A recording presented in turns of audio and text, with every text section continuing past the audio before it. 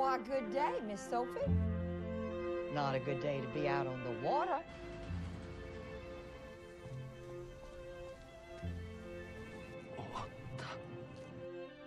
Is that a Chinaman, Dr. Gilbert? Sure is, Zach. I can talk English. What is it you want from me, Gilbert?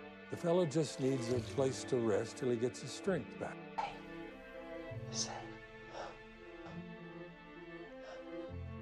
Sophie! Mr. Ohta, I- I'd like to introduce you to Miss Sophie Willis. How do you do, Miss Willis? Beautiful dream. Wake unto me. I am the first son born in America, So you have brothers who were born in China? Japan. I was born in California. December 7th, 1941, a date which will live in infamy.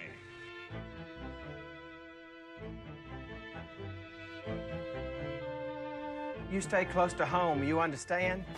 You stay away from that China. Sophie, you are in a whole lot of trouble. You're the enemy. I'm American. He's a Jap.